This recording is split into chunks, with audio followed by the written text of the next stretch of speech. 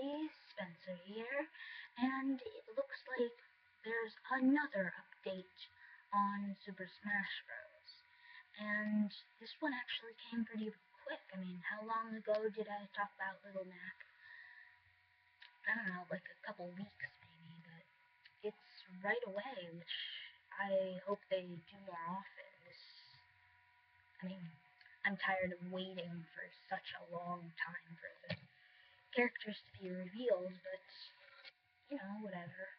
And it looks like we got Diddy Kong, which is not a surprise at all, because we have Donkey Kong, and actually the new game, um, Donkey Kong Country Tropical Freeze is, I think it already came out, I'm not sure, but, so yeah, Diddy Kong was one of the guys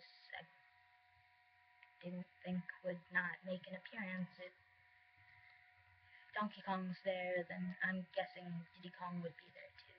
And also, I'd like to take the opportunity to talk about a character who I think might be in it.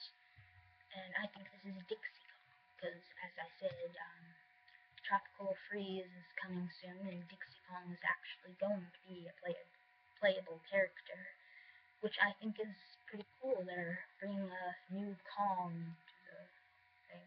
I don't know. But, um, so I think that Dixie Kong might make an appearance in this game. And maybe another Kong, I don't know, but Dixie Kong is the most likely. And so, um, Dixie Kong doesn't look like he has anything different about him. I mean, he does look a bit more, like, cartoonish. I don't know, they all kind of look like that. But, um, thank you as always for watching this episode of Super Smash Bros. news thing. So, um, bye.